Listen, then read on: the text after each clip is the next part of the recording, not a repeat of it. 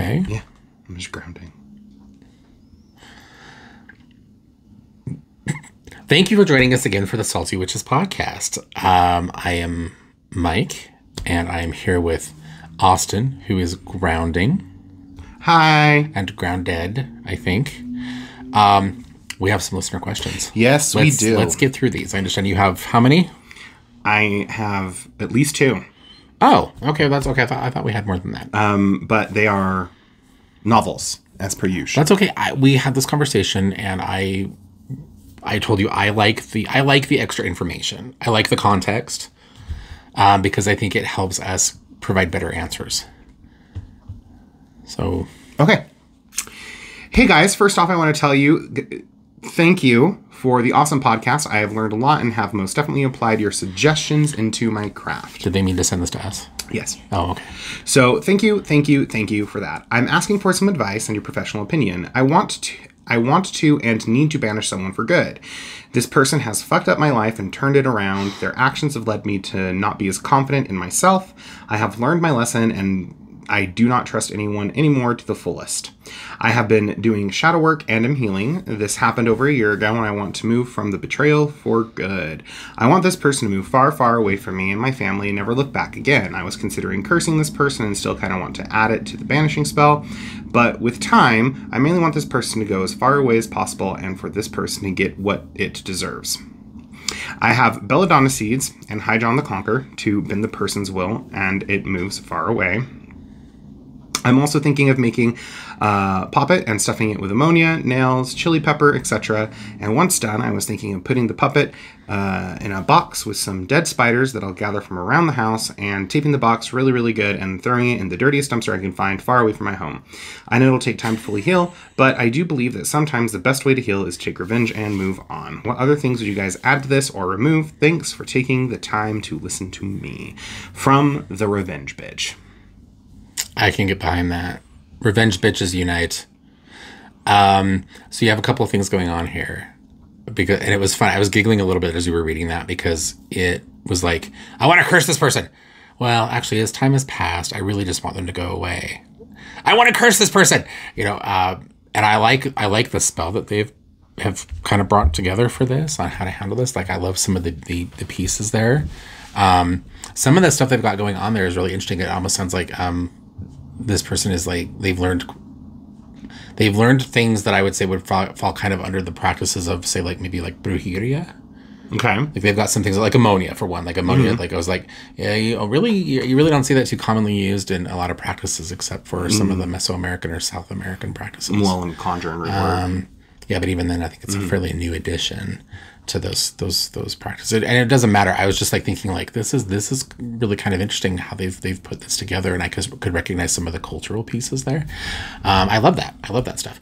Um, but I think it's probably good for this listener. I think it's probably good for you to really to figure out what it is you really want here, um, because you're you're wanting a little bit of revenge, and nothing wrong with that. If this person has that coming, that's great. We are fully in supportive of your baneful magic. Um, but you you kind of in the way that you're reading that that question out with the some of the story there, like they seem a little conflicted. So I don't know. I think being able to, to fully get in touch with the anger and the hurt, ideally with the process of being able to work through it, and and this kind of spell work being a component of that would be good. Or maybe maybe take the lighter route and actually don't worry about a curse and actually maybe just do something just to banish this person. yeah. The only reason I'm going there is I feel based on the way that they kind of explain the story that they're going to go to all this trouble, they're going to do this curse, and then a week after they're going to be like, I feel bad now. Okay. And they're they're going to have made all that effort and and curse curse negated. Okay. Um, I think a banishment is just fine because when you banish someone or something, you're just banishing them. You're not necessarily banishing them to a particular place. Um, I mean, if you wanted to, you could banish them to, you know, a hellhole that you're aware of. Um, so, Arizona, yeah, Florida. Florida. Oh god, we just lost all of our listeners in Arizona and Florida. Um, but, go on. but I would say don't necessarily worry about doing the curse if you're going to do a banishment. Um, or work a banishment into the curse or something like that. However, I am going to say um, there are some things that I would remove from this as just someone who knows the spirit of the plant very well. High John the Conquer root is not baneful and is not used for banishment work. Um, not even in Conjuring Root work. In Conjuring Root work, uh, High John the Conquer root is used to conquer obstacles, to overcome things, and it's not necessarily a domination herb or domination root either. Um, because the only way it bends someone to your will is by giving you more power to exert yourself. So they could still work with their could High John, but it wouldn't be a component of the curse. It would Yeah. be something they would do for themselves. Yeah, it'd be something you'd do for yourself. Um, if you were going to use herbs for bending someone to your will, I'd say use calamus or licorice root. Licorice root has a tendency to make people really bend very, very well. Uh, combine that with some calamus, licorice, and clove. You got it covered. I would throw some Damiana in there as well because it's very good at helping. Damiana is very good at making sure that whoever it is you're working against is less likely to figure out that you're working against them. Oh yes, poppy seed. Kind of, yeah. Poppy seed is a good one for that as well. Like it kind of like it, it kind of just tips them just a little bit off kilter, so that like if they are suspicious, like they know that they've made an enemy in you and that you're somebody who has this kind of skill. Like it makes it harder for them to kind of figure out like, did you do this? You know, like yeah, it kind of it's supposed to kind of cloud the mind. Yeah. You know, um, yeah. If you're gonna make a poppet of them, what I would suggest is also putting it upside down in something, so that their world kind of t- is turned upside down. So you, you have options. You have options. I I think if you're looking for someone to tell you yes, this is justified, only you can tell yourself that. Um, whether or not you feel this is justified, but I personally am just getting the feeling like it's probably best if you just banish and move on because you can do all the banishments and all the cursings in the world and that's still not going to heal your hurt mm. you are the person who has to come to terms with that and you are Well, the well, person they, they said they'd been doing some work around that. Good. So let's not, you know, let's not blame the Well, victim I'm not here. blaming them, but I'm saying like you are still going to be the person at the end of the day who has to who has to deal with the ramifications of what this other individual has done to you. Mm-hmm. And sometimes those things last for a very long time and they're not just going to go away because you cast a spell. Word. As a matter of fact, it could probably bring things up to the surface. So, just think about it. If you really have some concerns, get a reading. But other than that, what you're doing sounds really, really good. I was gonna say, yeah, yeah. Thumbs up for the, thumb, Yeah. thumbs up for what you got going on. With I would say try and throw I mean, some live spiders in there because because that'll add some insanity and then they'll die. extra extra credit if you can get them into the head of the poppet, which is Yes. what, something that that I know another wicked old witch used to do, um, and it worked. It works. works very well. Um, you can also make the poppet out of meat, like make a like a ground meat poppet, um, and And feed it to dogs. and then feed it to dogs. Um, poppet work is just so fun. It is. It's just so fun. It's good for like fun. It, it's good for healing and positive things though too. Mm-hmm. I just want to throw that out there because I think people, a lot of people, when they hear poppet or you know like the uh, god awful voodoo doll that we hear in a lot of contemporary Pinterest witchcraft. Um, they're not voodoo dolls, y'all. Um, but I think when a lot of people hear or they see information on like poppet work, they immediately go kind of like, "Oh, evil!" And it's like, no, No, you can use the no. poppet for You can use healing, poppets for all kinds of good protection, Yeah. money. Yeah. You can make a poppet of yourself and use it as a scapegoat. I have that poppet of you. Right. You do. I do. And sometimes, like when I'm home by myself in the afternoon and you're here working in the store, I'll take the poppet and I went to a toy store and I got like um like a, a dollhouse and it has like miniature cleaning stuff. Like it has a little vacuum and a little mop and stuff and little dishes. And I'll take the poppet and I'll put it in the dollhouse and I'll be like hold like the little vacuum in its hand. I'm like, yes, Austin. Yes, Austin and then I'll wash the dishes and yeah. And then the next day that you have a day off, I come home and the house is immaculate. It's so weird. It's so weird. You had another listener question. Yes. Okay. Oh, that's a long one. Damn. Yes. We should probably break this up. into like pieces because this this is a lot. Okay. This is like this is a witchcraft question from like Tolstoy. Okay. Hello, my name is. I think they told me not to use it. Don't use don't use their name. If it's easier. Okay. Hello, my name is Cass. If y'all end up reading this on the podcast, I don't mind if you use my name. Oh, never mind. They said we could use your name. So you're Cass now. Okay. But if it's easier, you can just call me Cass. Honestly, as someone who is still just beginning to explore their path, I have so many questions, but I'll keep it one, keep it to one, possibly multi-part question for now. Oof. Okay. Just some background about me, just in case that's helpful. I will try and do this without spilling my whole life story. I grew up in a fundamental Christian household. Uh, uh, uh, uh, sorry. What? I grew up in a fundamentalist Christian household, which started in Seventh day Adventism and somehow ended up in charismatic slash Pentecostal. If you've ever heard of a church in Redding, California called Bethel, that's the kind of Pentecostal I'm talking about. Ironically, hmm. I think that church and its beliefs are why I moved into magic and spiritualism rather than just landing on atheism. That makes sense to me. Yeah. I, I, yeah. That would make sense. Anyway, I started my deconstruction right in the middle of the pandemic. This happened for a few reasons. One was because I was finally out of my parents' house and in a space where my family wasn't constantly pushing their beliefs and expectations on me. Two, because of some amazing creators on TikTok, huge cliche, I know, who brought to light some really interesting historical facts about the origins, ancient cultures, and the progressions of pantheons and the syncretism that happened over time of Abrahamic re- religion that churches did not talk about some research and several mental breakdowns later, and here I am exploring spirituality, magic, and polytheism.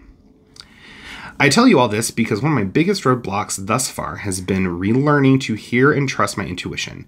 In the Christianity that I've experienced, we are taught the intuitive voice in our minds is either the Holy Spirit guiding you or the devil tempting you. It stripped away my sense of agency and ability to trust my inner knowing. I spent a long time taking every thought captive that's interesting. Uh, that I still struggle to differentiate between intuitive thought and imagination. I'll get thought like, you should do this. And I'll wonder, was that my intuition or an actual good idea? Or is this my imagination just throwing stuff out there because the idea feels fun or whimsical or magical? Obviously, I still have a long way to go and it's been a bumpy ride, but I've started some small practices like pulling a tarot card every day uh, for practice and learning purposes, reminding myself to be intentional in the way I talk about myself to myself, and grounding at least once a day. Okay, can we, can we pause right there? Because this is a lot. Okay, so the first thing I want to say to kind of address that piece, and they may they may come back to this later on, but if they don't, I want to make sure I don't forget this. Okay. From a purely spiritual perspective, your intuition and your imagination are, in essence, kind of the same thing. Like you don't really need to distinguish those things when it comes from, uh, you know, when you're looking for the root or the, the course or cause for uh, an inspiration of some kind. Whether it's intuition or imagination, to be honest, really doesn't matter because those components of your being really kind of weave together, really for most of us, pr- pretty intensely. The only time that that would ever, I think, be a problem would be if you were dealing with some very particular kinds of mental health issues. Um, you know, I'm talking primarily like serious, like you're not just imaginative, you're like delusional. Like that that that would maybe be potentially an issue. Um, but um, you know, I'm gonna, assume that it's not the case here for this listener. Um, so yeah, so you're you're beating yourself up, and you're you're you're you're you're kind of picking at things there that you really probably don't need to. Yeah. Sorry. Please please go. Okay. I love the mini episode you did on grounding. Sitting down and following along with that was the first time I'd ever felt a tangible result from trying to do, trying to do anything that was grounding. I love the results so much that I've basically memorized the process so I can do it on my own and use it when I have breaks or time in the morning. And every time I get to the part where I'm sitting in the energy for a minute, I feel like my nerve endings are buzzing. It almost feels like touching a live electric fence that is set super low so it doesn't jolt you. It just feels buzzy. Is that normal? If so, that's so cool. Also, when I'm done, I feel much more in my body and much less disassociated from my body, and my body feels lighter, like the feeling you get when you've been carrying something heavy for a long time, um, and it feels normal. Then you set it down, and suddenly everything feels feather light. It's just such a refreshing, refreshing feeling. I was hoping you might have some advice on simplifying that process for when I'm at work and on the move to still get the reset and relief. I found I'll be working and get anxious in my head, um, and about something and I'll either retreat and disassociate or get irritable and snappy. Either way, I need to reset, but I can't go sit for 20 minutes and do the do that every time. I feel di- dysregulated. I've tried the physical thing you suggest at the beginning of the mini episode for folks who have a hard time visualizing, but it just doesn't feel the same. Any advice would be lovely. Again, I love your podcast. I found it as dir- uh, I found it as a direct result of asking Lord Lucifer for a hint to finding accurate information about them when I first started researching them. I had read in one place that Lucifer was the Roman name for a deity associated with Venus, but everywhere else I looked, it was the Christianized stories, demonology, and at one point some convoluted esoteric theory about aliens. I wish I was joking. Anyway, I'm so grateful for the nudge uh, because as salty as you guys can be, you give solid advice for real people, and that's not always a that's not always a given in witchy online spaces. Thank you for all you do, and I hope you all have a great week. Okay, so I love that. You give, like, I'm, I'm going to use that now. We give real advice to real people, and we give, or, or real information for real people, and we give fake information to fake people. Oh, I still give real information to fake people, and they just don't like me afterwards. Well, I'm not entirely sure what a fake person is. Uh, reptiles, reptilians. What- Anyway, so This is the lizard people episode, right? Yes, oh, God, Ashley. Spoilers, spoilers. so They- we actually have one of them. They decided to move the mothership around from the dark side of the moon and join us today via satellite. Um, so yes, we will have reptilians, ver- vertical blinks and all Let me go get On the- pyramid. on the video cast. Yes, everyone put their pyramid hats on. Yes, we need to make sure that we're safe. Um, I'm sorry. Please finish this, listeners. So, um, grounding can be something that takes a while, but it sounds like you've listened to the episode a lot and you pretty much have it memorized. So, you've you should be pretty much conditioned almost at this point, depending on how often you've you've listened to it and done it. Um, that all it's going to take is five minutes and a couple of big deep breaths and refocusing that connection. Because once you've made that connection multiple times it's not like you're you know because i remember i used branches and roots in that it's not like your branches and roots just go away. Um, i would say whilst you're moving or driving probably don't do it unless you're at a stoplight maybe and even then probably pull over just to make sure that you're like not at risk of danger obviously. Um, so so really you should be good.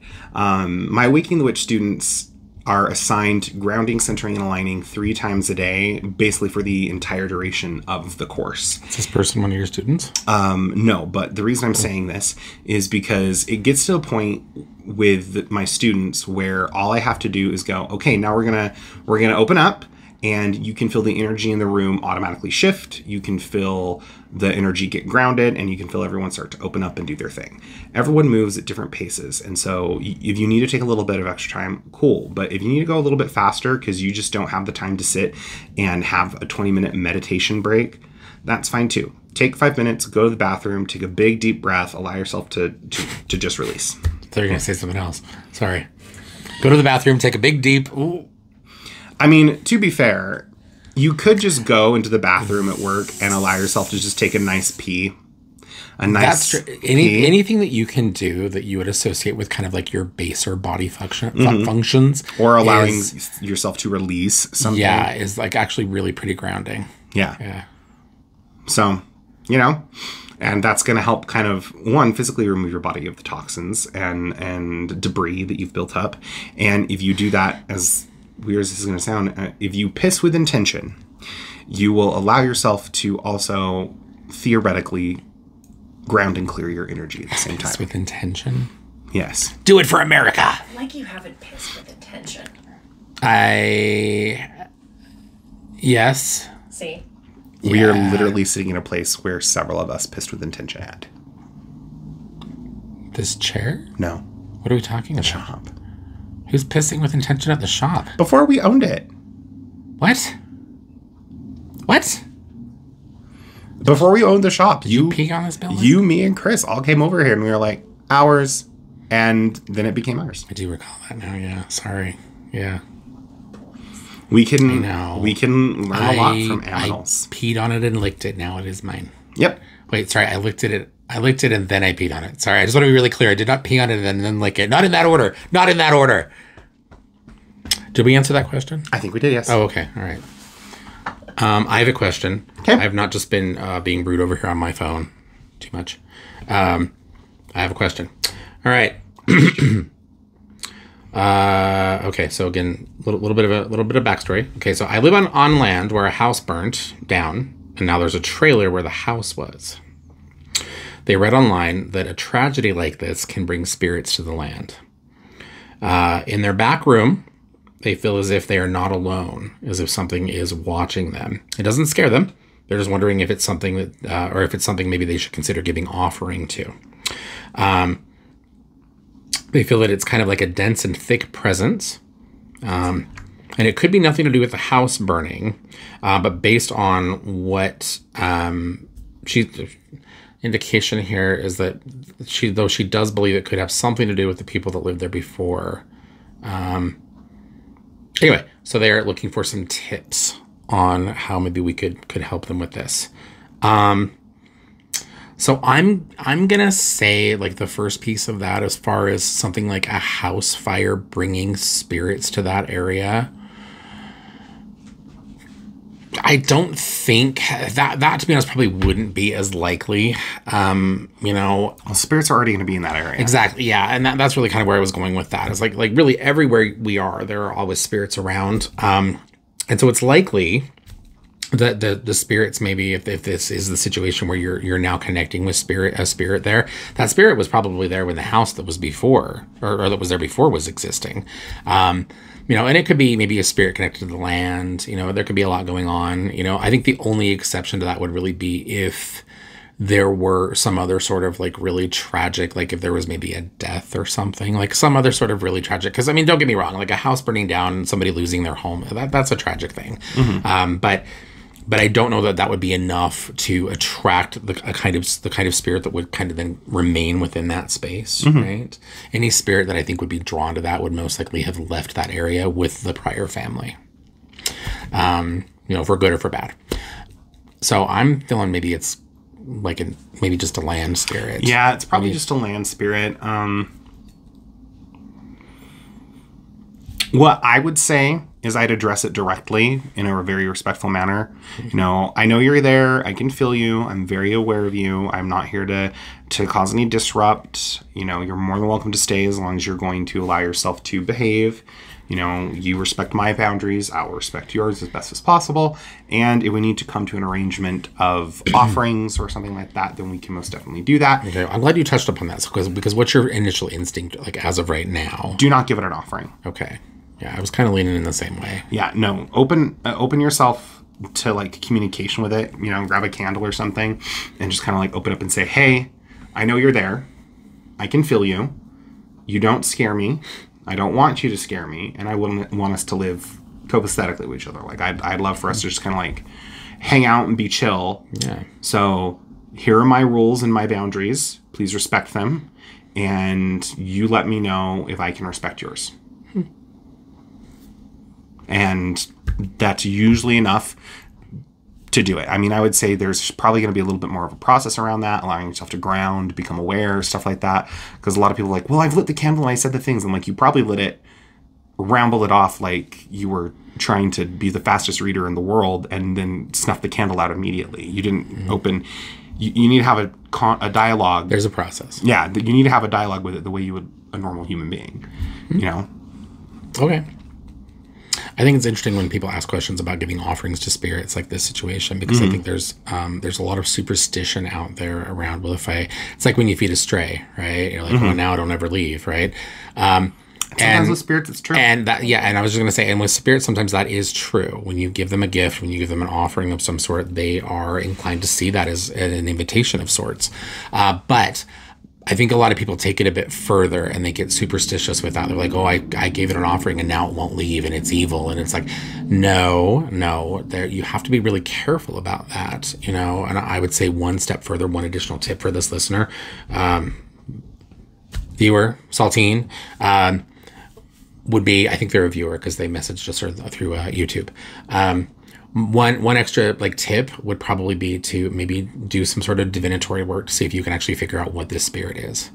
You know, um, and if you're not quite sure how to do that for yourself, like maybe see if you can find a reputable psychic in the area or a medium in the area, maybe who would be willing to communicate with the spirit for you. Yeah. Um, I mean, if need be, if you if you if you feel like you can trust us, I can do I can I can connect far away and I'm the medium in the shop now. So I could key in and see what's going on and give you some information, pull some cards on it and hopefully give you some answers. When you do your psychic work, do you like do one of these like things? sometimes Okay, all right, okay. sometimes I will just Yes, you've got to touch your forehead so that the, whoever it is that's watching knows something's happening. We do. I just do this when my head hurts. So, yeah, me too. Like, oh, oh god. Okay. Okay. Uh, that was it. Okay. That was that was it for listener questions. Cool. Awesome. So, Austin, what is our topic tonight? Tonight, we are going to talk about cleansing, clearing, and warding. Okay, so first, I want to get something very, very clear. Um, cleansing and clearing are different. I see what you did there. Okay. Um, cleansing is just like you would wash your clothes. Um, they're not new, you know, unless you went and bought new clothes. It's like your favorite shirt. You're gonna wash your favorite shirt, get the grubbies off of it, and it's gonna be clean and it's gonna be fresh and it's gonna it's gonna be taken care of. Clearing is um, taking that fabric down to its base level and then reconstructing it. Okay. Um, so cleansing is a huge topic in the witchcraft community, in the spiritual community, and pagan community, just because there's a whole lot of fear that's pushed around. If there's a spirit, you have to cleanse it. You have to clear it out, and it's like, really? Most of the time, you shouldn't. Do Yeah. Because because if it's a spirit, it's there for one of two reasons. It's there because it likes you and it's probably trying to help you. You know, Mm-hmm. why get rid of it? Two, if it's there and it wants to harm you, now you've probably done some bullshit white person cleansing process, and now it's pissed off. Yeah. And now it's really going to make trouble for and you. and the and the problem with that is is when you approach any form of magic from a position of fear which the idea of i have to clean this jar before i use it in a spell or i have to cleanse this candle that i bought from the local metaphysical shop because i need to use it in a spell or i need to cleanse the bell that's used for cleansing before i use it for cleansing Do you cleanse your selenite before you use it to? I have known people who will actively take their selenite and run it through a cleansing smoke. That's like taking a shower before you take a bath. I always bleach my bleach before I use the bleach. Exactly. You know, and so so as much as I understand the necessity for spiritual and psychic hygiene, there is a point where it's just too much. Everyone thinks that you need to learn how to cleanse and protect first before you do any other form of magic. And I very much disagree with that because most of the time, if you're keeping yourself grounded, centered, aligned, and you're actually doing the energetic work you're claiming to do, that means you should be opened to your spirits enough that they're taking care of the muck and all you have to do is maintenance. Now, that's not to say that if you're working at a professional level or in a professional capacity for other people like we do, that you never have to cleanse. I that that is incorrect.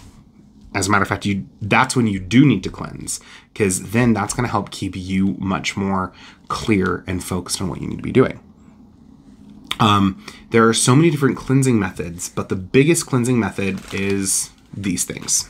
Smoke cleansing. Yes, not smudging. Smudging is a sacred ceremonial practice used by Indigenous Americans and Indigenous peoples to mark a space for a particular spirit, a particular ceremony, or a particular thing. This is not a smudge wand or a smudge bundle. This is a rosemary bundle. Okay, let's not let's not go too far into this, but I also want to just say real quick, like if you are the countless people that we see in the spiritual community today who feel that you have an access to the term smudging and the ritual processes that belong to those groups because your grandmother was a Cherokee princess, um, you need to shut the fuck up and sit down. Because, yeah, your grandmother was not a Cherokee princess. Cherokees Um, and even if your mother was a Cherokee princess, that sure as hell doesn't mean that you are. So you still need to take a huge seat. No, Do and- go on. And this is a juniper bundle. These are both great and lovely alternatives to the very, very common. I told you we're not going to go there. Don't even say it. Salvia Don't even say it. Al- al- apiana or white apiana. sage. Apiana. Salvia apiana um, or white sage. Um, we've talked about white sage on the podcast before, and Lots. I'm going to try and make sure that I don't go into my 10 minute soapbox. Um, but if you are not someone who is a part of the Southwest indigenous tribes, guess what? That's not for you. I don't care if it grows in your backyard and you live in Arizona. Not for you. Okay. Um, anyway, moving on from that. I think that's a symptom of people just really not having an, an association or connection to their culture. I think it's that, and I also think it's Typically- people unwilling to actually just do some research and read a fucking book. Well, and I think also so much of it is like the commercialism of spirituality. Yeah. You know, if you look Well, at spiritual- like you've got the new age community that's been pushing sage at people for like the last like 30 years. You know, and so it's just become one of these things that you like it's familiar, you Mm-hmm. know, like you go into a store, you see a sage bundle and, you're, and everybody knows I know exactly what that is, Mm-hmm. right? You know, and they want it because they've been told that it'll do these things Mm-hmm. when really it doesn't do those things at all. You know, and then they come into a store like us and they ask for white sage and we smack them. And I feel really bad about that. The police. I feel really bad about that sometimes. Yeah. They call the police. The police show up, but then as soon as we explain to the police officer what's happened, the police are like, "Yeah, they should have smacked you. You are a spiritual colonizer. Get in the back of the car." But we don't smack you. Uh, but but yeah, we don't even carry that at, at Cat and Cauldron, and we've had people complain about it because, and and I just want I just want everyone to listen to this very quickly. It's my it's my stop working now setting on my phone. Yeah, it, it's doing me a lot of good right now while we record the podcast for the shop. Go go, go on. So I'm trying. I am medicated right now. I cannot. I have to stay on track. Oh, this was like me and my mother yesterday. my mother. Um. Oh God. Oh God. Oh, Let me she, finish. She watches these now. Oh God. Sorry, mom. Um. She. My mother was. I would say. Um. The expression "violently too high" is appropriate. I think. she she dosed herself by accident yesterday, and I keep saying that people are like, "What? By accident? How do you how do you how do you how do you take an edible by accident?" Um, and she took an edible, thinking that sorry, mom, um, but our viewers and listeners will get a kick out of this. Um, she took an edible, and she didn't realize she thought it was a CBD gummy. Yes. She did not realize that it actually also had THC in it. The Delta Nine. And she took the whole gummy when the recommended dosage is half. So she got like 15 milligrams of THC. Yeah, this is a woman who gets um, loopy on one Tylenol PM. Yeah, and so and she Sorry, mom. Love you. and she was really struggling. She was a little freaked out, and I feel like an asshole. And she's gonna she's gonna watch this episode now and, and learn this. But sh- I go upstairs on my way out of the house to come to the store, and she's like, "I did this today, and I'm really really high, and I'm uncomfortable, and like I can't even get up and walk." She's like, "I'm worried I'm gonna get up and walk, and I'm gonna lose my balance or get dizzy, and I'm gonna fall and like bang my head on something, you know." And she's like going down one of those fears, going down one of those concerns. tunnels that you go down when you're you know too high, right? Um, and uh, she's telling me this, and I'm sitting there and I'm trying to be sympathetic, and in my brain I'm like, I really can't handle this right now because I'm also violently too high.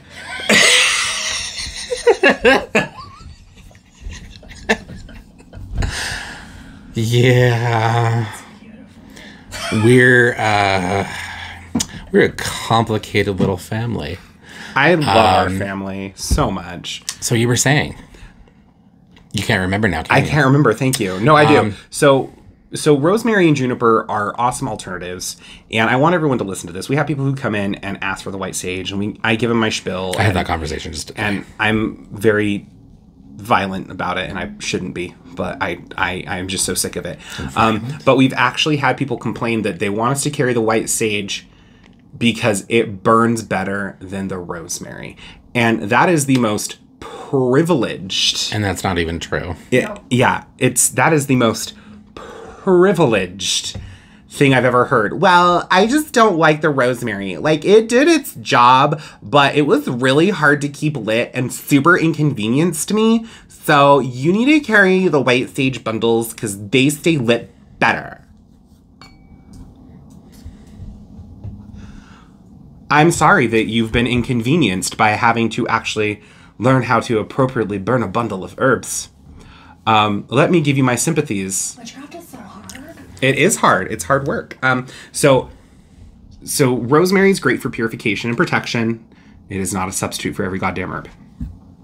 It is not. We also have this. We do have this. I'll let you talk about that. Why? Um, I'll let you talk about that because you have Well, I don't want to. I don't want to a go non-high brain that's going to be able to give better information about the ethics around Palo Okay, so let's- okay. I'm still talking about juniper. Thank you. Okay, we'll wrap it up. So juniper is great for purification. It likes to ground things and it also helps transition energies. And it has a lovely smell. Okay. So the problem that people run into with these kinds of herb bundles is they're wound so tightly that it's hard to keep them lit. So I always tell people, go ahead and snip snip the little strings and burn it sprig by sprig or keep it in its package and before you open it, press down and roll for a minute. Okay? Roll it just like that. It's going to break up some of the herb in the middle and you're going to be able to get a better burn. Okay? So now Mike is going to talk to you about Palo Santo. Oh well, thank you. You're welcome. Thank you. Um, really quick on juniper. Really quick on juniper.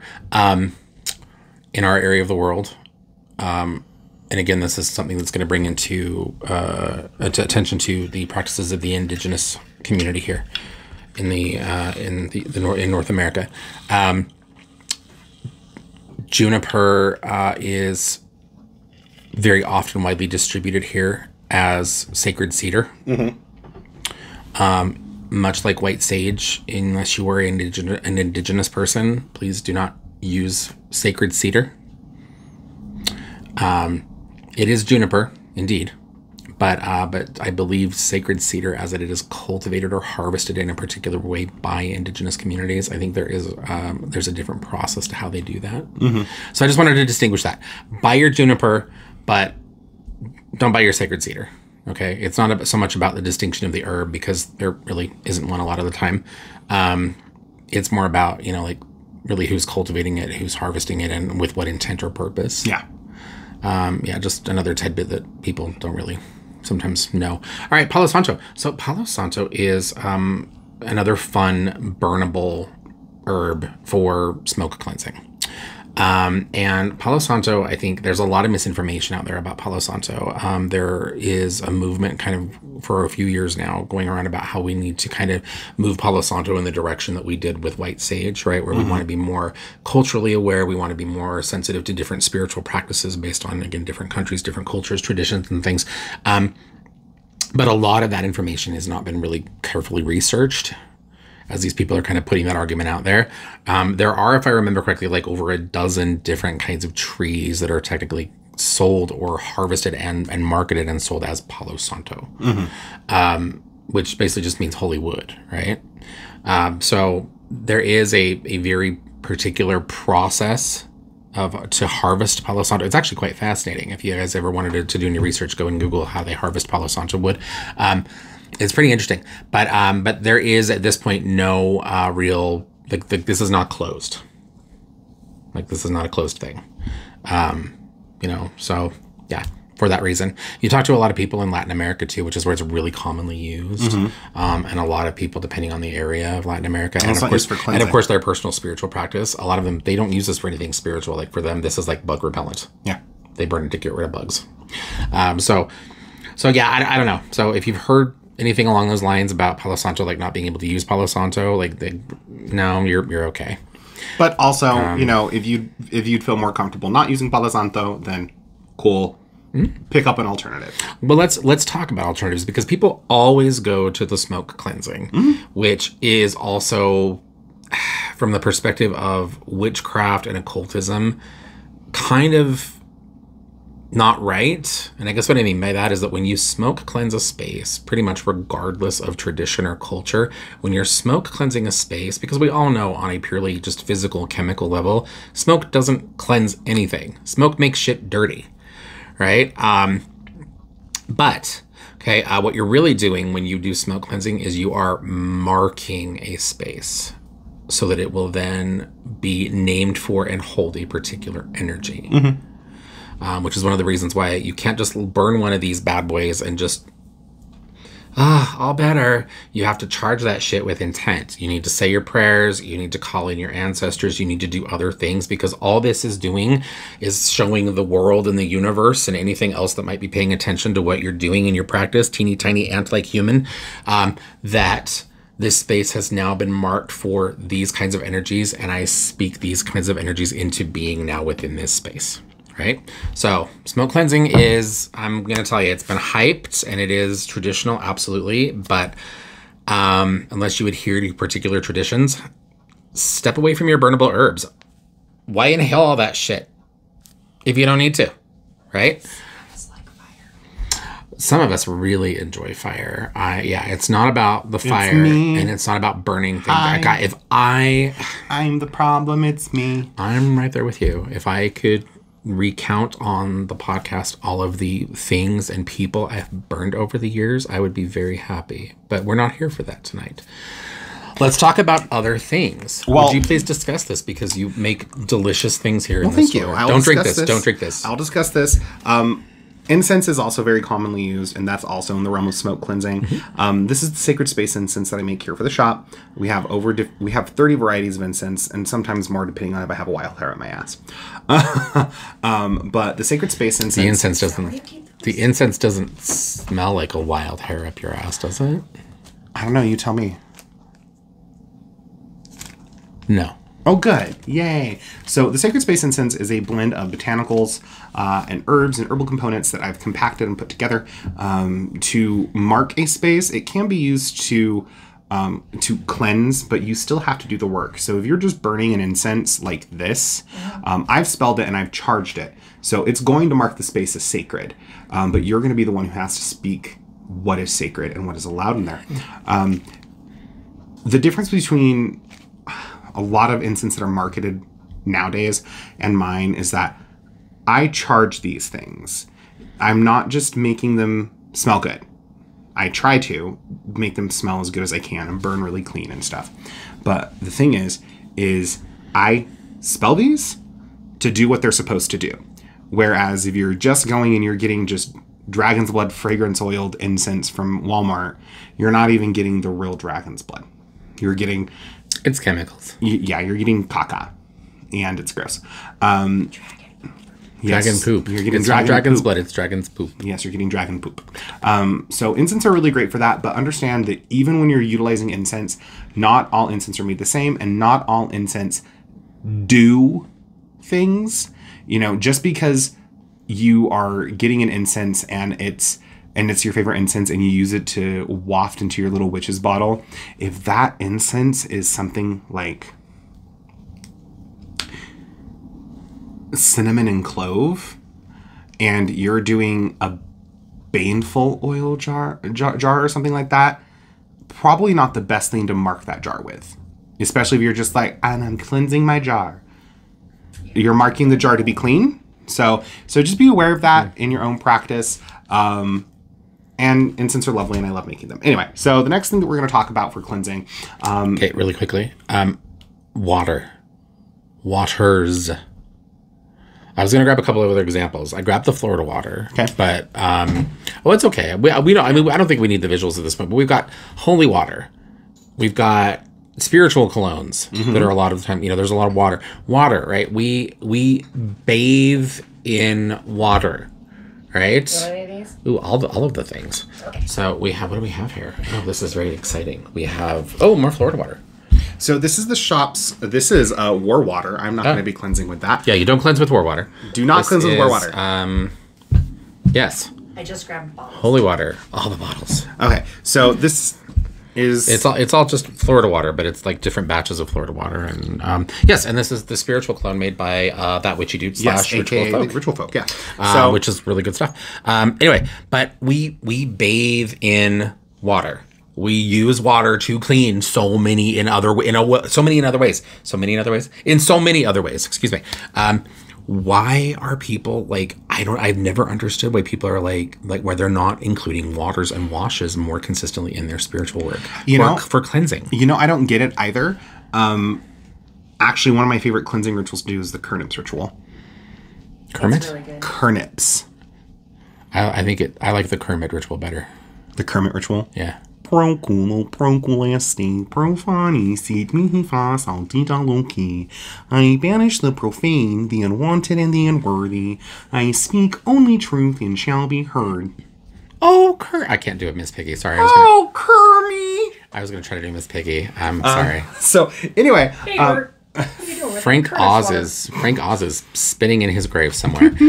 Okay. So, um, but water is so great, um, and it can be used for lots of things. Not moon water. No, I'm kidding. Moon water doesn't really have, other than just the fact that it's water, it really doesn't have any like spiritually cleansing properties. Yeah, it, it, it amplifies. The moon doesn't. Well, I- I- it also kind of depends on the phase of the moon. It depends on the phase of the moon, and I've never been one to think that the full moon cleanses. And part of that is because if the full moon cleansed, we wouldn't have haunted houses. Right? That's the first thing you see in every horror movie. Is there's like a big full like blood moon or some shit, right? And that activity is amped up as fuck. And you're like, okay. Um. So, so if you're using come on.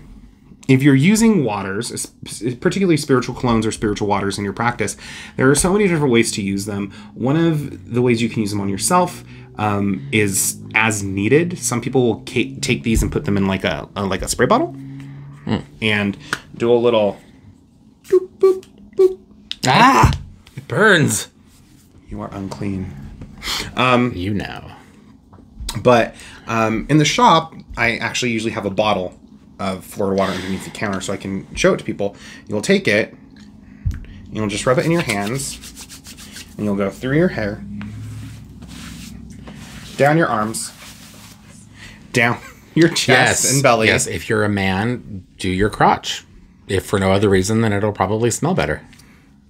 But also, it's a good way to keep things clean and unanchored to the lower self. Anyway, um, so spiritual waters are really great for that because waters are always used to wash in a lot of different cultures and a lot of different practices. And so, because of that, um, utilizing your waters and your spiritual colognes are really great. You can blend them. Um, Oh, well, you can take like a cap full of this and just put it in like a normal bath. Yeah. and or you can add that to regular water and you can do uh, like actual washes. yeah, like a floor wash around your home. Yeah. Um, I add it to my actual surface cleaners. yeah. There you go. Yeah. Um, and th- my Florida water is my great grandmother's recipe. Um, so There's a little bit of her in every bottle. just a little pinch. Just a little pinch of great ashes. grandma in every bottle. and I've not gone through all of her ashes yet, so it's good. Um, no, there's no there's no grandma in every bottle. Um, there's no nonna. Um, so this is a really great alternative. People love this. Um, one of the things that I really enjoy about Florida water is it can be used to feed your spirits. It's not just used for cleansing. Um, you can use it to feed mojos, gree-grees, uh, curios. It's great to wipe down your altar with when you're doing a cleanse. Um, most Florida waters are going to be antibacterial and antimicrobial anyway, just because a lot of their bases are alcoholic. Um, mine does have some alcohol in it, but it's not enough to start a fire anymore. Um, I was doing I was doing uncrossing, and I had the candle and I surrounded it with Florida water like I normally do, and I dropped the match like I normally do, and it went up in flames, and I was like, cleansing fire. Um, and then I was like, I think I put too much alcohol in that batch of Florida water. Anyway, so the Murray and Lanmans or the Lanman and Kemps that you can find pretty much anywhere. I think you can even find at Walmart.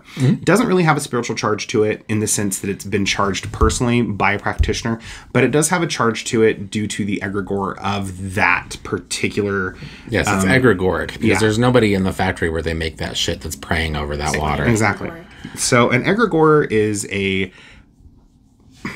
it is a group thought form that has a lot of power given to it by a large group of people. Yes. But yes, putting it very putting it very simply, yes. Yes. Um, But since we're talking about egregores, uh, let's talk about the uh, inclusion of holy water in witchcraft. I Because using I think a lot of people hesitate to pick this up at a witchcraft shop, and this stuff, to be honest, works just as well or can as the Florida water. Mm-hmm. Why is that? because of the faith of the person who created it. So it doesn't matter if you believe in the holy water. Nope, because the faith of the person who created it. working. Yeah, someone else created that, and the faith of the person who created that is going to hold a lot of the power behind it. It will hold more power if you have faith in it. Um, but you know, the cool thing about holy water is, is it functions through a process of contagion, and so you can take a couple of drops of holy water and put it in a big bucket, and that thing's going to last you for a while. Yeah, because then that whole bucket is holy water. Yeah, you let it sit for a couple minutes and it becomes holy water. My favorite thing to do with holy water is all because I'll use holy water in my pulizias. Bless you. Um, a pulizia is the traditional Italian form of egg cleansing. Um, and I'll put it in the water that I'll use to to read the egg and everything. And within a few minutes of it being put in the water, the water turns into like this like McDonald's Sprite looking stuff. It's really cool. Yeah. The the Florida water or the or the excuse me, the holy water is really good. Um, I understand that uh, the fonts at Catholic churches are um, Not- Silver. not good places to get Florida water or hol- I keep doing that holy water from. That's where I used to get mine. Yeah, Well, I mean, not not because the water isn't holy anymore, just because apparently there were a lot of like cryptosporidium outbreaks Yeah. Ew. Yeah. um, a couple years back, and I guess that still is kind of a thing that can happen. Yeah. because basically anybody's dipping their fingers in that water. Yeah, but also you- at a lot of churches, they'll actually have like a container. Oh god! Oh god! Oh god! Everything's ruined. Damn it, Mike. Um, they'll have like a container where you can actually go up and like open up like a spigot and put it in a thing, and that's water that's usually been blessed by the priest prior to the prior to the ceremonies and stuff. So, he um, comes out and he does like a. yeah. Yes, Daddy. All I right. like that. Let's. Um, we've talked a bit about cleansing, and before we drag this episode on too much longer, let's talk about a little bit about clearing because you started Okay. to explain that, or I should say a little more about clearing because you started to explain that earlier. And I think sometimes again the terminology gets weird. Mm-hmm. That when we're cleansing something, we're basically taking it back down to kind of its pristine state. Right? Yes. Is kind of the idea. Like we're returning it to its ideal state of being. Right when we're clearing something, it really is probably better to think of clearing more kind of in the concept of a banishing, right? Where we're like, no, no, you just don't get to be here anymore, right? Um, and there are again a number of ways that you can clear or banish something. What are what are maybe just like one or two like for say like beginner level or or, or user friendly ways to do a clearing. I was literally. Now, please don't get fancy, right? Right now, I was We- literally we're- going to be like lesser banishing ritual, the pentagram. well, and that's Boom. and that's a good one if you like that. I'm not one that's into the Solomonic crap, but you know whatever. Um, The Solomonic craft. Is that what you said? that's what I said. Yes, crafts, craft. Easy ways to banish things, quite honestly, are to hype up your own internal witch fire and witch mm-hmm. flame and expand it outwards while claiming your space. Yeah. Um, borderline, arrogant, prideful, ego driven. Get the fuck out! Step into your your your inner alpha ness. WWF wrestler. Yes, talk. exactly. Channel Step into- channel channel your inner Andrew Tate Channel your inner Austin and Mike. be be like big time alpha dork loser who I think is still sitting in a Romanian prison. He should be. Dude should fucking rot in there forever. yeah. Huh? I didn't hear what you said. Andrew Tate. He's terrible. Yeah. Ugh. God. Right. Got that. Anyway, I'm just trying to think of like who do I know that's got like that like big time like like this is kind of the person you want to become when you do this. But yeah, basically like like you said, just kind of like just very domineering, like my space, my rules, kind of thing. Yeah. Um, what's another way that they could clear? Go ahead. I've been talking a lot. Yes, you have. Um, one thing I found really helpful over the years to like clear or banish is to actually do some pr- other prep work to um, remove things in the house that are really kind of the tethers or the roots for the funky energy. And by that I mean like shitty roommates, um, toxic members of your family. Um, who knows? Who knows, right? Maybe you've just got a cat with a really bad attitude. You know, just get rid of all that. shit, That right? gift from your ex that just That sits there and IKEA stares at you. Exactly. Yes, the IKEA shelf. And you know you put it together wrong. Every time you look at it, you're That like, bundle you're like of white when I was done, I had three screws left, so I know that fucker's gonna collapse. And it's IKEA, so it's gonna collapse anyway. But maybe sooner, right? Because you missed those three screws. Anyway, so I find it's also very helpful along the lines of working with the mundane and the magical. Like you can go through your house and you can cleanse and clear and cleanse and clear and cleanse and clear. But if the source of the trouble in that house is you have who knows? Seriously, like you've got like like a shitty roommate. We see that one a lot here at the store. You've got a really shitty roommate who is just just they're just a horrible human being and they're and they're bad and they eat all your food in the fridge.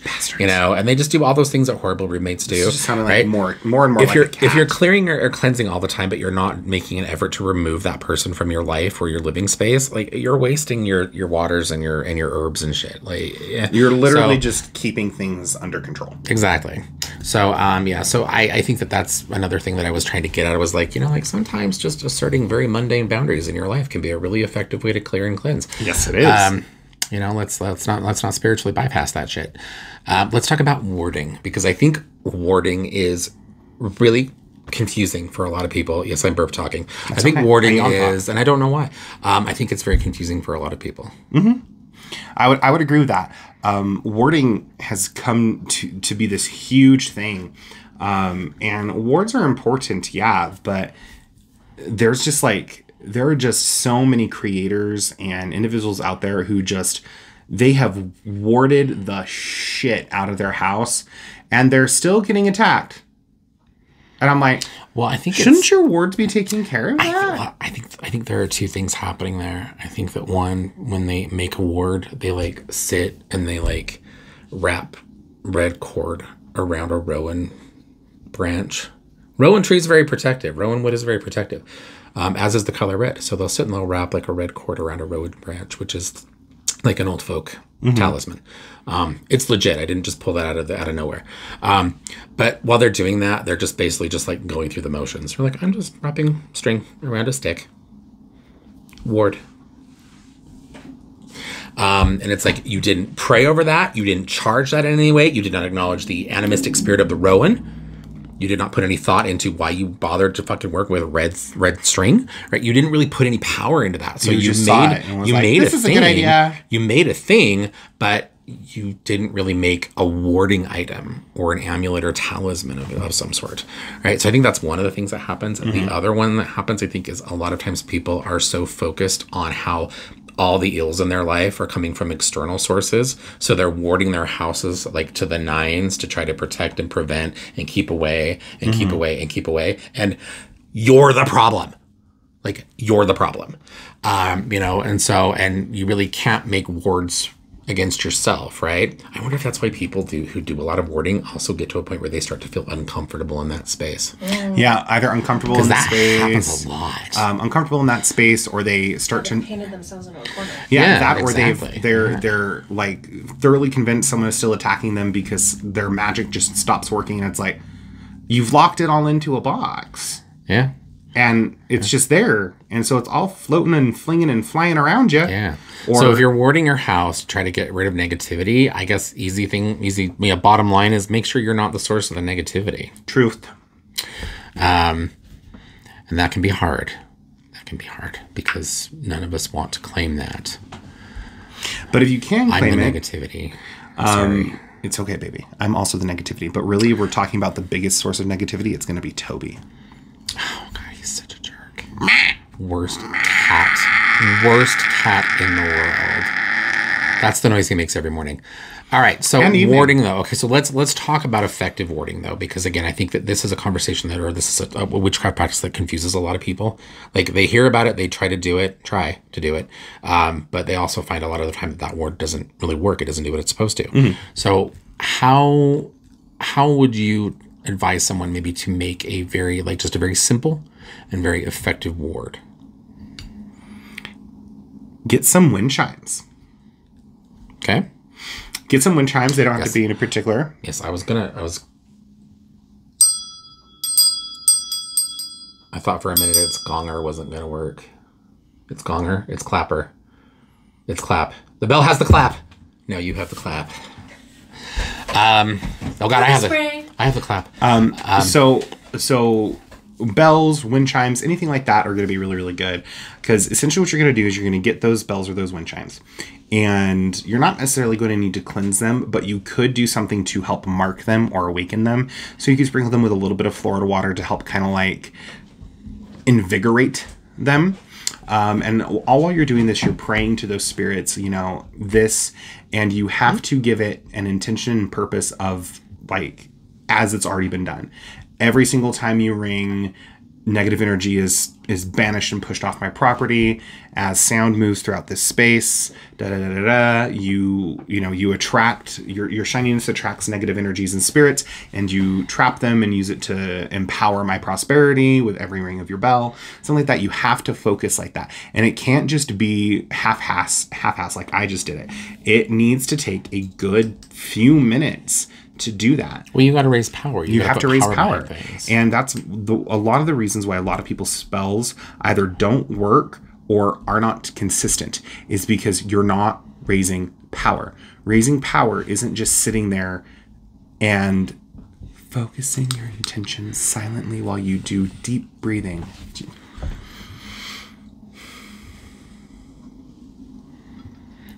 Well, while you're raising power, um, I'm, I, I'm, I'm a chaos magician, and I love to work with sigils. are you feeling my power And when I am feeling your power, I'm, I'm smelling your power. Good God. Um, I'm feeling. Yeah, you had a burrito for breakfast. The, yeah, the breakfast burrito you had this morning was really good. I was like, oh, I should have gotten one of those. But then I would be here and you'd be smelling my power. Um, so I like to work with sigils. Yeah, chaos magic is uh, sigils are kind of a big thing, and they've kind of moved out into lots of other practices. And it's not to say that they began or you know got their start in chaos magic because they certainly did not. But but they're uh, but I like to like in past as I've made warding things, particularly out of bells, because if you think about this, think about this for a moment, right? We like to try to we we like to try to bring scientific or we should we should try to bring scientific principle mm-hmm. into our witchcraft practice right? Because there's kind of an idea at least in a lot of a lot of witchcraft practitioners that what a lot of what we do as witches is really in essence kind of just science that hasn't really been confirmed yet right? So it's good to incorporate these things because somewhere down the line when science gets good gets good science is good. What's good science, science? it continues to grow good? and expand. We'll get to a point where we'll be like oh all this shit that we used to call witchcraft yeah it's all just science right? Like we've already seen that happen historically right? Um anyway so but i'll take a bell. I'm holding a bell those of you who are not watching but listening. I'm holding a bell um and i will actually just paint a sigil on the bell. Okay. And I like I've taken the time, I've crafted the sigil, I've charged the sigil. So for me, that sigil is like boom, like you're my you're my seal for this thing now, right? And the sil- sigil would be specific, like it'll be like this is a sigil for protection, this is a sigil for good energy, this is a sigil for whatever, um, and that'll be on the bell. And the idea is then because I've charged it as such, right? As I've made that, because in essence, at that point, you've made it, you've made a magical tool, right? Okay. I you every time I ring the bell, that vibration moves through that sigil, which will then be on that move through the space. And this is where I mentioned bringing science in, right?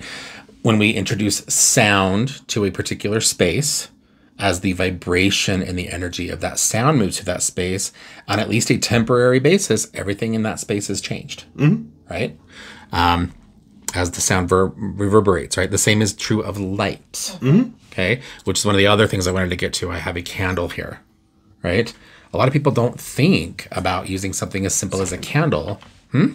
That's a candle. This is a candle. Is, is this a candle? It's a candle. It's a candle. It's a big candle. I don't think I can handle this. it's a candle. big girl candle That's a big girl candle. I don't That's think I can- we don't am- use we don't not use I'm not we big don't girl. I use baby candles here. I just, we I use just, big girl candles. I'm just gonna say right now, I, I do not have the real estate for this candle, but a lot of people love their, their candle magic. But when it comes to doing working like cleansing, clearing, and and warding, they completely overlook something. yeah, like they go this automatically too. you know and it's like and again looking at the way that scientific science kinds of works right it works right if you go take a lit candle any source of light particularly one like where you've charged this candle with intent you've like carved cool stuff into the wax and have like put cool oils and things on this. Don't get the wick, it won't burn. Okay, but you put cool oils and things on this, right? And who knows what else, right? And you've got your your intent and your incantation, your prayer, whatever the hell you're doing, right? You light this and you go through, and this is something I like to do actually, is I will go through the house and I will turn off all the lights in the house and I'll go into each room as I navigate the house with a lit candle and I'll go into each space and I'll say my my whatever it is that I'm saying like like you know like I bring light only light can, can you know uh, the light is a manifestation or a representation of my intent for protection for safety for myself and those who live in the house right? Whatever in your own words right? And I'll go through and as you go into a dark room and the light of the flame actually moves out and fills that space once again you are altering the energy in that space. Light is is light is a thing that travels and moves through space. We, we know that scientifically.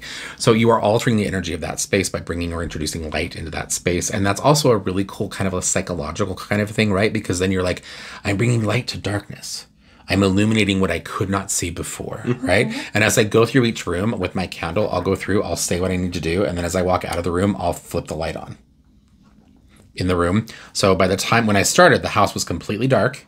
By the time I'm done, every light in the house is on. And this is why I always have $400 electric bills. It's true. Um, but obviously, you go back through and you turn them all off real quick, right? But anyway, but that that's kind of a way that you can do some very effective um, clearing or cleansing, right? And now, as a as a ward, how would you incorporate candle work into something like a ward? So you would do the same process. You would I, I would carve the um, carve a sigil of protection or an incantation protection onto the candle. Um, I would anoint it with a protection oil or a blessed olive oil, and then I would choose some plant allies that are really really good for that. Like Um, what? I for protection I like to use uh, nettle. Who? Nettle. Nettle. Oh, yes, stinging like to, yes, I like to use nettle. I like to use um, rue. Rue is really great for that. Um, Although rue has different associations in different cultures. yes, it does. Because I'll use rue for cleansing or protection. It's just a matter of how I work with that spirit. And I'll usually stick to three herbs. Three is a good number. But if I'm doing protection, I'll usually do four or five. Um, just because four helps to stabilize. Five is also a number associated with like Mars. dynamic kind and, of like, energy. Like I'm gonna punch you in the face. Making things happen. So let's just say we're doing protection. So we're going to do Rose, Mary, Rue, Nettle. I'm thinking really hard right now, and I don't know why. Um, Hyssop. hyssop is pretty much It's not, just it's not protective, but it's cleansing. yeah. Um, hyssop, and then I'd probably throw some uh, Datura in there because Datura is protective. Um, and Hmm. I'd grind those into a powder. And I would not use salt. And the reason I would not use salt is because salt neutralizes everything unless you Salt is not protective. unless you've exercised the It's spirit appropriately. Um, now, if we're going to use do a cleansing, then I have a, a really good one for that too. Um, but anoint the candle, get the herbs on there, blah blah blah blah. And I like to do a really cool thing where I'll wrap my candles in aluminum foil, um, and then I'll put them in the air fryer on the lowest temperature Is that why the food always tastes like that? they're wrapped. The wax is not leaking out. Um, and I'll put them on the lowest temperature for like, yeah, for like five minutes, six minutes, um, and then let them cool. I'll kind of press the herbs in. And then at the end of that, everything's kind of stuck into there. So as it burns, um, and I've lit that candle and I speak the incantation and I move it through my home because I'll move it through each room in the house. Um, sometimes, if I want to, around the, the perimeter of the house. Um, the spirit of those herbs and the spirit of the oil and the power of that sigil combined with the heat from the air fryer um, will be released out into the out into the area and transmuted to weave into the intricate structures of energy around the home.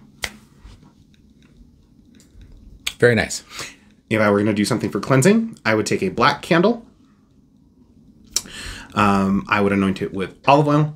I after I've inscribed what I'm protecting from on it, or what I'm trying to release, or whatever, um, and then I would surround it in black salt or salt doesn't really matter because what's happening is as I charge it, negative energies and mal- negative and malicious energies are attracted to this this flame like a moth is attracted to light. As they hit this boundary of salt, they are neutralized and banished. Very nice. Sometimes the flames on those photos will get really, really high if I'm doing that. Yeah. Like some Sabrina the Teenage Witch bullshit. Hmm. Okay. Alternatively, I do a black candle with some sulfur. But be careful with sulfur. Yes, sulfur is It's- flammable. It's, it's combustible. Yes. And it's not very, it does not, it's a bad smell. Yes, it smells like uh, the power that you were raising a moment ago. Oh my god, I didn't even fart. I can smell your power. That makes it sound like you have a body odor kink. What? That makes it sound like you have a We're body back odor on kink. smells. I don't have any kinks. Oh, as we learned from American Dad, everyone has a kink. Um, Have we have we discussed these things enough this evening? Do you think? One thing that we have not talked about Oh, yes, the is oil. Oils are really, really great. I had that down primarily for just like as another warding item. Oh, well, I mean, okay, cool. So, oils are really, really great. Um, they're condition oils, and the reason we call them condition oils is because they are used to physically mark something with a particular condition. Um, You mean I'm not conditioning my hair? you can with some of them, depending on what the base oil components are. I would suggest not doing it though, because it's probably going to make your hair look gross. Anyway, so the uncrossing oil is just an example of that. Um, within a condition oil for uncrossing or protection, you might find some certain things, um, depending on the base oil. But essentially, what you're doing is you're you will physically mark yourself or an object with that oil, and the idea is by marking it, not only are you imbuing and impregnating that object with the spirits that are have been decocted and infused into that oil with your prayers and your magic you're also um i forgot where i was going this because i heard the door the it will also take on those those capabilities there we go oh that was really you did. You saved it. I You did. Saved it. um, and so the cool thing with a lot of oils that I like to do is for protection, I'll actually take a protection oil and draw protective sigils on things where the oil's not actually going to harm it. Um, so I'll do it actually on mirrors. Um, if I have, I've had clients before who um, really like have like those really old silver antique mirrors that are real oh, that silver. are, that are apparently doorways to hell. All of them. Yes, of course. If you listen to TikTok, but these things do pick up a, a, a fucking charge, and sometimes spirits like to go through and move through them. Um, I had a client one time, and I watched the mirror move and do weird shit, and I was like, "That's weird." Okay, and so I took it and I pulled everything that was out of that mirror and trapped it in something else. Took it home with me. It became my friend. Um, and then I sealed that mirror utilizing a particular blend of oils that I have and let it sit for a minute. Went through, checked everything else in the house, made sure everyone was good, and then afterwards wiped it down with some Florida water because the alcohol from the Florida water will emulsify the oils. Science and witchcraft living together harmoniously in one. Well done. So, oils are really great for that. You could anoint a bell with a particular oil. Absolutely. Yeah, you'd have to you'd have to kind of re-anoint though. Like each time you're going to use the bell, you'd Yeah. like put, put some fresh oil on there. yeah. Yeah. You could anoint your altar, your windowsills, so many things. You can anoint yourself if you want to. You can anoint yourself with a protection oil. Be, be careful. The oil isn't going to burn your skin. Yes, always do a skin test. Um, one of our readers actually uses my road opener oil to not hit green, uh, not hit red lights. Oh, Work. that's an interesting use. Hashtag slay. I love to see people. What do they say? Everybody's so creative. Everybody's um, so creative. Couldn't you theoretically anoint a bell to be baneful? Yeah, absolutely. Yeah. Yeah. Every single time I ring this bell, your head splits in two. With each ring, thrice, thrice, thrice, evil comes to you. You would probably want to, in that situation, you would probably want to have some other sort of tag lock or witness item for the person to receive the effect. Sure. So that would be a good use for something like that. Like if you had a poppet of that person, and you just laid that poppet down and like just like chimed that bell right over the poppet's little head. Like every time you hear this, every time I ring this bell, you know, um, Or you could attach their signature to the inside of the bell. and just let the clapper just beat the shit out of him. Okay. All right. Anyway, so those are some great ways to do it. There are a lot of people who like to ward with crystals, um, which is going to segue me into my upcoming class this Friday. So I've talked, I've, I've talked a lot this episode. I feel like, and I think, Yeah. I've talked a lot. That's okay. I'll just sit over here and be been quiet. but this Friday, I have a class called Crystal Magic. Um, it's twenty dollars a person. It is available online. Um, it's available in person. There's still some spots left. Call the shop 801-601-1795. You can get registered. We'll get you taken care of. It is again available online. No, I am not recording it. It is available online. It is available online. You just have to call the shop and register. How do you call the shop and register? I just gave you the number 801 601 1795 or go to the website www.catcauldron.com and you'll be able to see all of our upcoming classes, all the services we have to offer, and everything else there. But you cannot register for our classes there. You still have to call and talk to a person. I know it's scary. I get it. I hate people too, but this is the day we live in. You need to pick up the phone and call 801 601 1795. Anyway, so in that class, I'm going to be talking about how to work with crystals, and a lot of people like to put tourmaline and, and selenite above their door, and because it keeps negative energies out. Yet these are also the same people who come in and always have negative energies in their home. I'm like, why are those things not working? Anywho, so part of it's because you don't know how to program your stone. You're putting it out in the moonlight to do the work for you, and you're not actually doing any of the work. So in this class, we're going to be talking about programming stones, grids, some other things, ethics, and stuff like that. So if you're interested in that, do that. Do not take selenite and carve it on the concrete. Yeah, you're just wasting your selenite. You're wasting your point. selenite, and at that point, Um, you're also going to be inhaling. gypsum. dust. Yeah. Also, you you could be leaving like lovely sharp little selenite needles all over the ground for some small child to come and walk over. or or a puppy. exactly, or a puppy. And I'll be honest right now, if a child steps on those selenite needles, They not need a all the tear. cleansing they need. But if a puppy does it, oh, my heart. Do not. No, absolutely not. Think of the puppies. I Think of will. the I will. I will oh, hunt you down. I will hunt you down, and I will smack that selenite out of your hand. He will John Wick you. Uh, yeah, yeah. That seems like that, that was more violent than I meant to go for. But anyway, so I do have a class coming up on that. We have a few other classes coming up. You you have happening um, just a few days later the full moon rites on August thirtieth. Yes, on August 30th, we have a full moon rite. The full moon rite's It's a Wednesday. It's a at 8 Wednesday. Mm-hmm. p.m. because we like to do those once the sun goes down. The full moon rites here at Cat and Cauldron are always going to be more ecstatic. I'm never going to turn someone away if they can't afford it. It's most definitely more donation based. There is a $10 donation suggestion, but if you can't swing it and you want to come out and you want to experience a full moon rite and get get your witch on, that's this is the place to do it.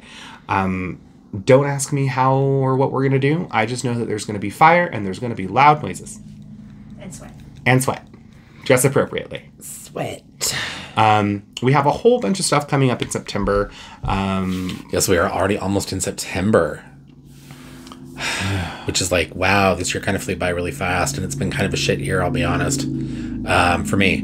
Um, but also, pumpkin spice lattes.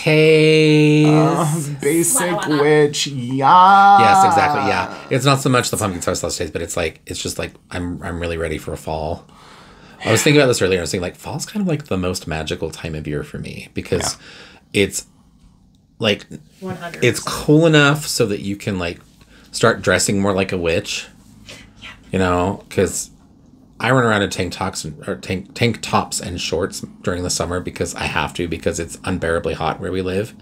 Um, but I really do prefer like cardigans and like cool witchy clothing and long coats and things. So yeah, so I'm excited for that.